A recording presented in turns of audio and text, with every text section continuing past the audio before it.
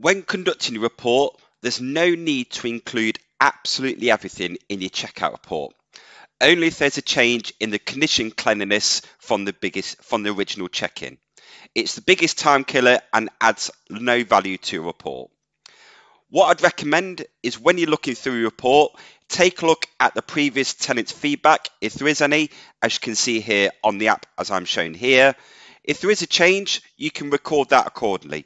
Use the voice dictation and use the highlight if you want to.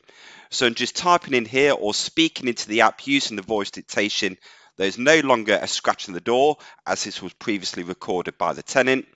You can highlight it in bold, underline or in italics if you want to. You can free type in the box as well. And if you want to record any maintenance issues, you can do at the bottom as well by looking at the condition cleanliness and highlighting the maintenance issue as well and flagging it for maintenance.